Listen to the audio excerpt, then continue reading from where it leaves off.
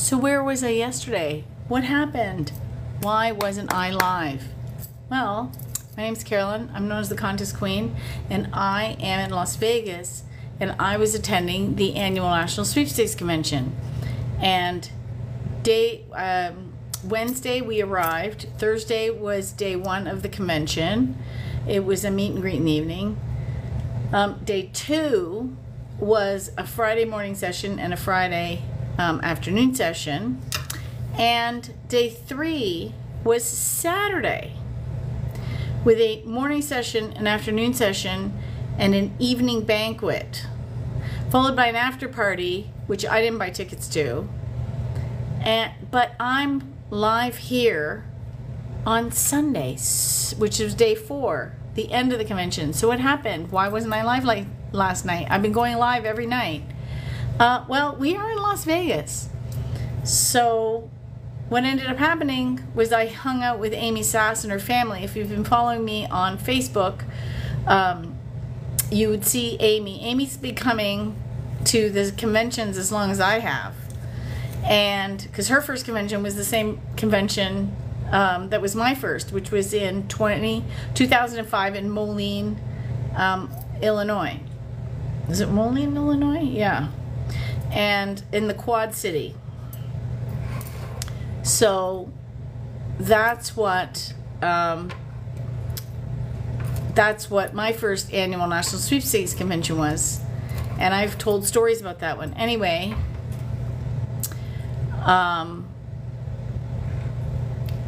anyway, Amy at night, I ended up sitting with Amy and her family, talking back uh, back and forth, enjoying each other's company, and telling stories about past conventions and different things that we were doing, and how Amy got into sweepstaking and whatnot. Um, and then um, I looked up and it was midnight. Then I went and found Wendy, who is the woman I came to the convention with, and she she turned around and uh, was downstairs gambling because we are at the Horseshoe Resort. And uh, I sat with her. We were playing slots until 1.30 in the morning. And then I thought, I am so tired because I have to get up and be in the convention hall for 9 a.m. I did not go live. Actually, I completely forgot that I was going to go live. So otherwise, I wouldn't have gone down and hung out with her. Actually, I didn't even think I'd stay down that long, but I was winning. So I stayed down at the slots. And... Um, I didn't go live. So what happened day three of the annual National Sweepstakes Convention um, was the morning session. Uh, we had a speaker. Oh my gosh, where's the convention schedule? Because I don't even remember. Is it here? Do I have it right here on the table? Yes, I do. This was the sheet. It was August 4th to 2nd. Um, next year it's going to be in Little Rock, Arkansas, and it was announced today that 2026 is going to be in back in Phoenix, Arizona. So the schedule, oh yeah, here it's on the back page. Uh, so Saturday morning, uh, we had the annual sweep sheet member picture, which I shared on my Contest Queen uh, Facebook page. So go and check that out. Um, then we had Tom Cavalli talk about the other side of sweepstaking, but there was a twist on that speech because actually his wife, Lee, came up and gave this speech because that was the other side of sweepstakes. Um, what's it like being the partner uh, of a sweeper? And she is funny. And then he actually has a prize closet. She cleaned out that prize closet, brought a bunch of stuff, started giving it away at the conference. Hilarious. Um, I know a lot of people are new to the hobby of sweepstakes, so if you have any questions about uh, sweepstakes contests and giveaways while I'm talking about the annual sweepstakes convention, uh, leave them in the comments and I'll answer them as I go along. Uh, then we had a lunch break. Uh, I went. Wendy and I went downstairs to the food court in the hotel. They had a Nathan's hot dog stand, and uh, I've never had a Nathan's famous Nathan's hot dog, so we had Nathan's for lunch, and it was great and it was quick. Um, yes, it it was it, it is Vegas. That's where this year's convention was because it's finished. Because it's actually day four of the convention, but I was too busy having fun playing slots until 1.30 in the morning, so I never went live for day three. So I'm doing day three on day four, and tomorrow I'll probably, when I'm headed home, I'll probably do another live, but from the airport. And then in the afternoon, we had um, a speaker talking about uh, insights from the IRS because in the United States, any sweepstakes prize over $600 is taxable. And so she was giving all kinds of really good advice. Oh, you want to win the lottery? Well, actually, the specialist that you want to follow on winning the lottery is um, uh, Timothy Schultz, and he's on YouTube. Um, when he was 22, 22, 21, 22, um, he won $29 million in the Powerball and he interviews a lot, a lot of weird winners. Now, that said, if you go to my other channel, um, actually website, Words for Winning, um, Helene Hadsell, who was famous for winning every prize she ever desired, including a fully furnished home, uh, she never won the lottery because uh, there was no lottery in her state until 1992. Yes, exactly. Timothy Schultz, spelt exactly like that. There was no state lottery um, in Texas until 1992, and she'd won every prize she ever desired between the 60s and 70s. So she didn't need to go and win the lottery because she'd won trips all over the world. She'd won a house. She won cars. She'd like, she didn't need the lottery because usually people want to win the lottery to buy those things. Well, she'd already won them. So what's the point? So if you go over to um, my Words for Winning page and search lottery, I have a recent article uh, that I wrote based on Timothy's work and a bit of Helene's work. And then if you um, look back at older articles, there is a, a three part series on her different thoughts over the years about winning the lottery. And so I have a three part series on her take on the lottery and different advice on how to win it. There's also a great resource on Audible. Um, unfortunately, Richard Lustig has now passed away. However, his book is, um, I, I think his book is still available on Amazon, but it's fairly expensive. But on Audible, uh, it's only like $3.50. Um, it's not a long book, but it's the same advice. It's basically the book, the paper book read, and you can get on Audible. And he's in. Is he in the Guinness Book of World? He's in some record, something or other. Uh, he won seven jackpots, but his secret was the state lottery. So they weren't big like the Powerball, but no one's going to pl- complain about winning a couple hundred thousand seven times. Um, so, um, go check that out. Yes, you read Helene's book. So, the articles on my Words for Winning website, the first one is uh, taken out of the book. However, the parts two and three, um, I found in her uh, remains of her business files when in 2022 I drove down to Texas. Well, actually, I did it. It was it 21 21 and 23 or 22 and 23 i'm losing track. Um, in 2022 yeah in 2022 i drove to texas and um, picked up the remains of her business files. And i found two more articles. One was digital and one was paper so i had to reconnect it. Um, Oh, I'm not back. I'm still in Vegas till tomorrow. Um, and I'm talking about day three. Um, Timothy Schultz um, is who you're looking for. I think someone in the comments mentioned this the spelling properly. Um, he's really good on YouTube. If you put Timothy lottery winner, um, oh, other guy, Timothy Schultz. Oh, Richard Lustig. Sorry about that. Um, yeah, Richard Lustig. And if you type Richard Lustig, even spelling it wrong, Google will figure it out, and put Audible and lottery, you'll find his book. and it's the cheapest on Audible. And I figured out why because I think they were selling his book for fifty dollars. Now I was really lucky. Speaking of sweepstakes convention, twenty 14 it was in orlando florida and he lived in florida and he was the keynote speaker. It was amazing.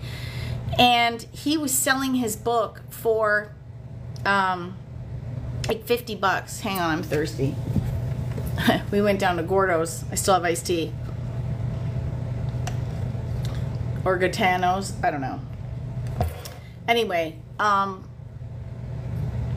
he was he was um, the keynote speaker that year and he was selling his book. It was like $50 and then i ended up having him as a guest on my um, with the contest queen. So if you check my youtube channel i have an audio because i had a podcast before it was cool. Um, i only have an audio interview with him um, and he since passed so no other chance to interview him on youtube. Um, but his book was fairly expensive. But i couldn't figure out why his book was only 350 or something like that on audible. Well i started recording my audible books. Well it turns out when you record an audible book you don't get to price it. Uh, audible decides based on the length of the audio files. And because his book was thin um, they priced it really low and so you can get all the same information as his paperback uh, really cheap on Audible. So I highly recommend uh, going to Audible and getting Richard's book. So um, anyway, so we had a speaker on the IRS, and then off we went and took a little break, and we came back and we dressed up and we went down to the banquet. Um, so that was fun. And then um, after the banquet, there was an after party for some of the bigger prizes, but I didn't buy any tickets to that. Um, does Richard's book work? Um, I actually haven't tried it because I focus on sweepstakes. Uh, I prefer not to spend the money on lottery tickets. Um, and so I haven't focused on that, but I do very well uh, winning sweepstakes. Uh, if you go scrolling back, you'll see all my unboxings. I talk about previous sweepstakes. Um, I like to enter sweepstakes because it's free and I can win all kinds of things. Um, sometimes stuff money can't buy, like I met Sting. That's not going to happen in my everyday life. Um, so things like that. Um, how do you do it? How do I do entering sweepstakes? Well, to make it sweepstakes, do you have a book or I just follow you? Yes. Okay, so head over to contestqueen.com. I have two things for you. Click on five steps to begin winning, absolutely free. And then click um, if you subscribe to my newsletter, which I send out twice a month, so I don't inundate you with things. Um, I send it out twice a month.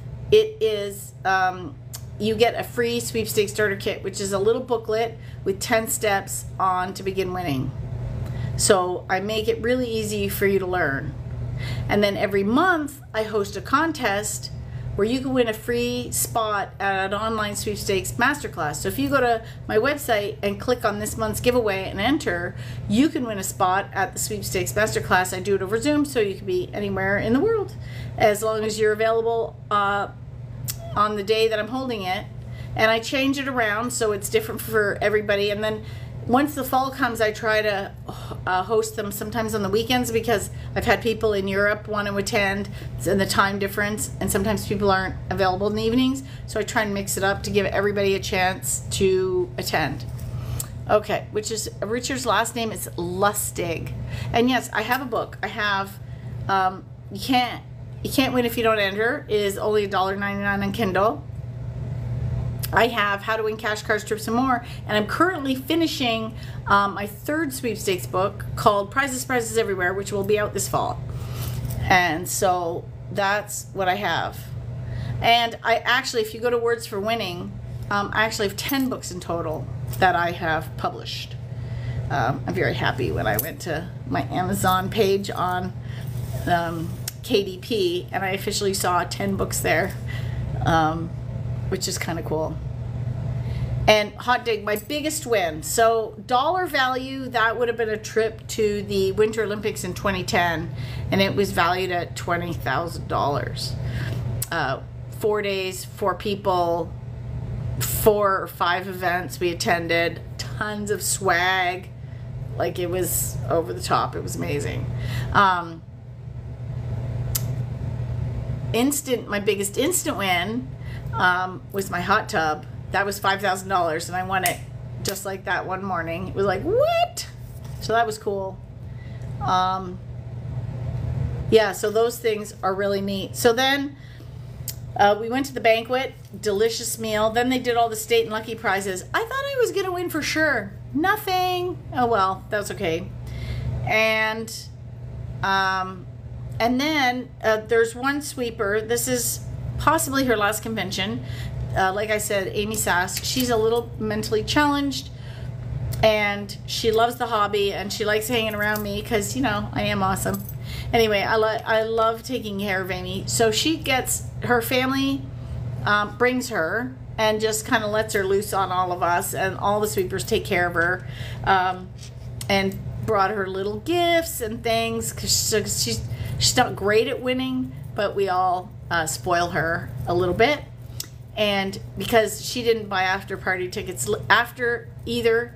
She really wanted to hang out with me, and she said we're going to go to Blake Shelton's Old Red, and I'm like, cool, love country music been to Nashville twice. think it's fantastic. And um,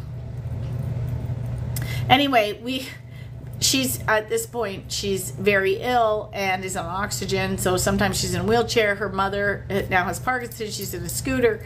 So we finally get all the way into Old Red and get seated. And her dad goes, "Oh my gosh, Amy's oxygen is at 13%. We need to go." so we ended up back in the room just hanging out and talking and having drinks and you know it was great and we talked for like three hours um, that's the really fun part of this hobby and i did talk about this on when i was on the speakers panel on the first the second day um, is that i've made friends for life from this hobby and people that would never have come across my path um, in everyday life if it hadn't been for sweepstakes. And um, so it's just just phenomenal how this hobby has just changed my life in countless ways. But more than more value than any prize i've ever won is the friends i've made. And oh a user says i won a coloring contest a microphone case a 10 speed bike um, from mcd drawing. Yeah fantastic. You know i always say everyone has a winning story. Everybody has a winning story. It's so true. Love it. Oh, I guess. Oh, yeah, you can see the flamingo in behind me. So yeah, definitely in Vegas. Um, it's fun. We have to pack tomorrow, and I get to double up my suitcase because I brought so many prizes to give away that I had to pack a second suitcase and pay for a second suitcase. But I didn't win as much as I gave away, so I get to combine suitcases, and uh, and I checked. I can put the Roomba in my checked baggage. So I'm going to do that. I got a room coming home. And so basically all my clothes will fit in my carry-on. How crazy is that, right? so it's to be it's to be fun um, getting out of here. And then also if you've been following my posts, I now this is funny. I trade I I started collecting Trader Joe bags in two 2014, like 10 years ago, and I had like a I had I had some San Francisco ones. And then I was in Boston at the sweepstakes convention and I passed a Trader Joe's and I'm like, oh my God. And we went in for snacks, you know, to buy some snacks to have in the hotel room. And I saw the Boston bag. I'm like, oh my God, this is cool. So I bought that. And so slowly, every time I travel, I stop at a Trader Joe's and I get their bag. And I had like, I don't know, 50. If you go back on my YouTube channel, I did a whole like I want to say unboxing. I did like accounting and talking about the hobby and how I have this crazy collection of bags and I don't know why I like them. I just love the art and they're practical and they're cheap and they're fun. So anyway, I say to people, hey, so a couple of years ago at the convention, so once the pandemic had died down and I was able to attend, 2022, I went to Manchester, New Hampshire, and I thought, oh my God, there's all these people coming from all over the US. Maybe I can expand my collection. So I made a post and said, hey, if you want some Canadian candy, I will trade you a Trader Joe bag. Well, I don't know, maybe three to five people did it. And then the next year I did it again, and another like three to five people did it. Well, I don't know what happened this year, but like 20 to 25 people did it. So I had to bring so much candy to trade for these Trader Joe bags, but I have so many bags. I even got the thermal bag to take home because I have a purple one, but I don't have turquoise. and I got states that I don't have, so I was really excited. Like I got Missouri, and I got South Carolina, and I got Philadelphia. Um, did I get? Uh, was it Pennsylvania? See, that's the thing. It's Philadelphia, so it's weird. Half the bags are cities like Boston, New York. Um, uh, Chicago, Nashville, Atlanta, um, Washington, D.C. I don't know if that counts as a city. But then you have the states. So there's um, Arizona, Missouri, etc. Uh, who pass your legacy to as you have extended Helene Hadsell's? Um, I don't know at this moment, uh, but I do know that when the time is right, the person that I am meant to pass the torch to will appear. But um, I'm only 57. I have no intention of going for a long time. So there's plenty of time for that uh, next person to appear. And I'm also taking on other people's legacies. So if you go to my Words for Winning site, you'll notice my first Tag Powell book has been published. I bought the rights to his and his wife's books there was about 10 books in total from those two um, that I'm being um, republishing. So now I'm not only just doing Helene Hadsell's legacy, I'm doing Tag Powell's legacy and Judith Powell's legacy. And I know that there's more authors after that, but they also have not appeared. Uh, but I do know that they are coming. Um, okay, so um, Denise, I was speaking to my son last night about manifesting the lotto, and I opened up TikTok, and there you are. Yeah, it's crazy how that works, right? Um, it's crazy how. So I had a reading from Sarah Jordan. So go look her up. She is on my, if you go look up my blueprints page on my Words for Winning website, she is a medium. She's a psychic medium and said, messaged me one day and go, hey, um,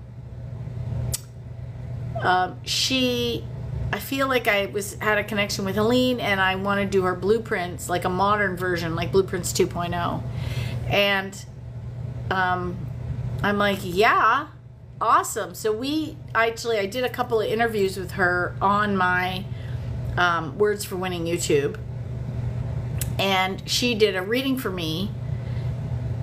And there was a point to all that. Um, oh yeah so part of the reading was um, doing um, what was his name? His name is go check out. I want you to go check out um, Brad Yates. And he does EFT tapping. My roomie's here. My roomie's here. Do you want to say hi? Hello.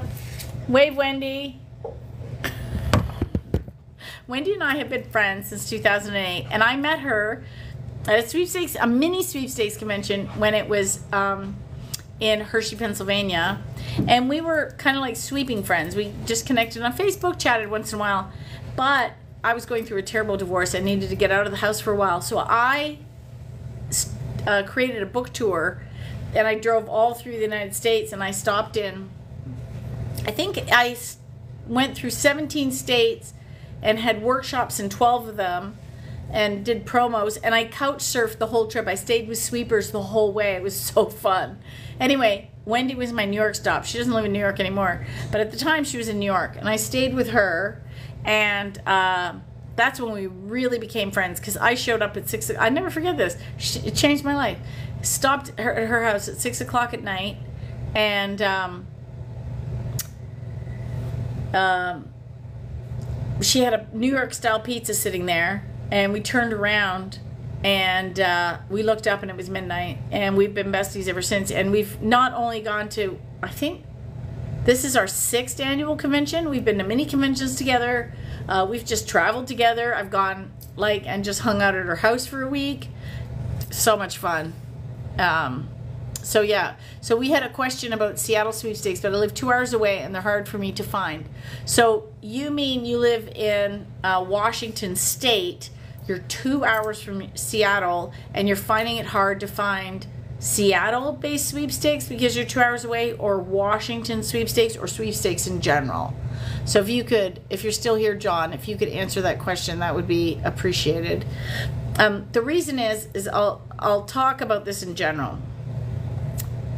So one of the keys to winning, okay, Seattle-based sweepstakes. Okay, one of the keys to winning is to enter local, and then um, statewide, and then national, and then glo- and global. Okay, so your odds of winning, it logic dictates this.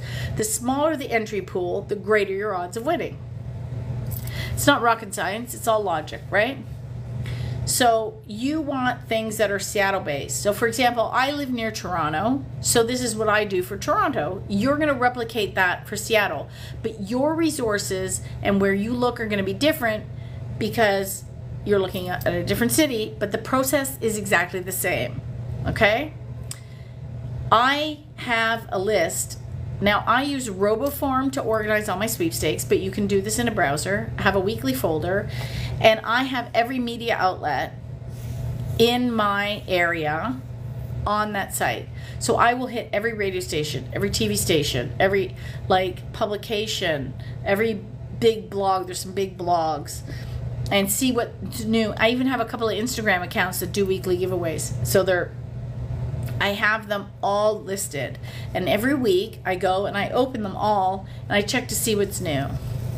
I do very well on what they call locals. Like I've won so many concert tickets. We've won theater tickets. We've won, you know, like so much stuff from um, local events. The other thing you're going to want to do is download the app for every single sports team. So I I have the Argonauts because we don't have the NFL. And I have the Blue Jays, and I have the Toronto Maple Leafs, and I have the Toronto Raptors. I have them all on my phone.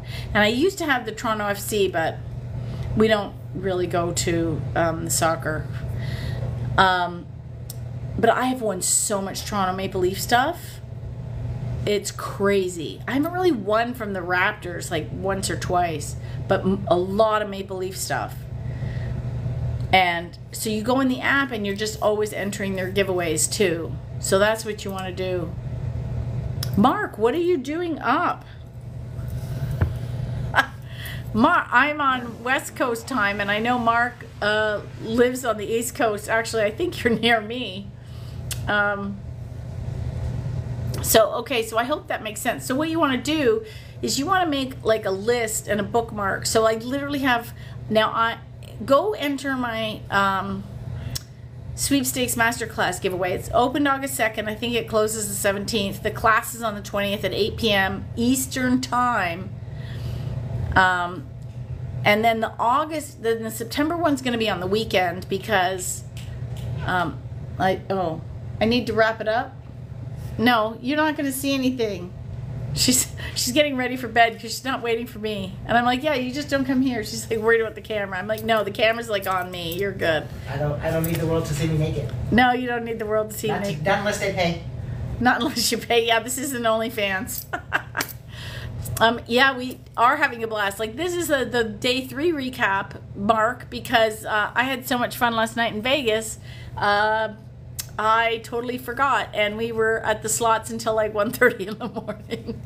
and then I'm like, oh my god, we got to get up early to go to the the morning session. So, um, and the whole convention was over by like 11, but it was fun. Next year it's going to be in Little Rock, Arkansas, and they announced that the next year is going to be in Phoenix, Arizona. So I want you to save your pennies, Mark, because you got to come. It's going to be so fun. Um, I've already bought my ticket for next year. I've already registered. Did you register, Wendy? Not yet. Not yet. I was pissed. She's pissed. Are you gonna look at the world? No, I was gonna put my jewelry. Can they see me if I go that way? Yeah. She's like crawling under the table. You're still in view. Turn it the other way. You're, you're... I'm in my pajamas. okay, I'll go this way. Thank you. I think she had more, she had more drinks at dinner than I did. Um, I want to go. You yeah, you do. And actually, uh, Mark, I know on TikTok, Bat, I think her handle is Batty Maddie. She, her, her husband, she's like telling her husband she has to come, and um, cross your fingers. If you guys follow Die Coke, known as Super Lucky, uh, from the UK, she's hoping to come to Little Rock. Oh my God. I have never met her. I've talked to her. okay, I'm going to go back now. You're so funny. Oh my God. Come and save. Yes, you're to alive from our hotel room at 10 o'clock at night. it's 11.08. I have to change and get bed ready. I know, I should be in bed too, but I'm having Killing fun. my bed routine. Okay, shh. This is. This will be on YouTube too, you know. Just letting you know. Say goodnight. Say goodnight, Gracie. I should probably say goodnight. I gotta get up at six because I need to switch my body to Toronto time because immediately after I get home, I have one day to do to unpack and to repack because Wednesday morning I drive to Connecticut to do Silva training and I'm going to be doing this exact same thing um, every night, recapping that training, but on my Words for Winning channel. So that's what I'm going to be doing there. Um, so yeah, so Saturday, just to recap what Saturday was, day three, because it is Sunday, I'm a day behind because we're having way too much fun in Vegas, and of course we are. Uh, we started with the uh, annual sweep sheet um, picture. We had a morning session um, with Speaker Tom Cavalli and his wife Lee Cavalli. We had a quick lunch at Nathan's. We came back. We had another speaker. And by the way, in between all these speakers, they're giving away prizes. So I so I only won two things this year. I won a Roomba, and I won a wine kit. So woohoo! Um. So um, we had a speaker uh, on the IRS, and then we had a lovely blanket banquet with more prizes, which I didn't win, but it was fun. And then I went and hung out with friends um, until the wee hours. And then after those wee hours, because it is Vegas and it doesn't sleep, uh, we went played on the slots. Um, it was fun. So that's what we um, we did yesterday, and then tomorrow I'll talk about the last day of the convention. So I'm going to sign off now because it is 11:10 uh, Las Vegas time, and I'm getting up at six, and because I got to pack, and we're going to spend the day at the pool. So uh, yeah, from the city that never sleeps. Uh, yeah, and a new hairstyle. Yeah, I pulled it off my face because it is hotter than Hades here. I think what today was 110 or something. I don't know. It was it was it was hot and lovely. So uh, it's fun anyway. Until tomorrow.